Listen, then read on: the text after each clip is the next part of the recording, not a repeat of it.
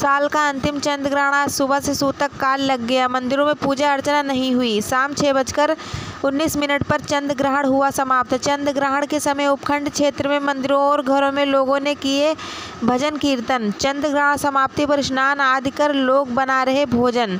डींग में दोपहर बाद आसमान में छाए रहे घने बादल। बादल छाने से लोगों को नहीं दिखा चंद ग्रहण। शाम को ही हल्की बूंदाबांदी अभी भी आसमान में छाए हुए हैं। बादल मौसम में बड़ी ठंड। रमनलाल गोस्वामी की रिपोर्ट।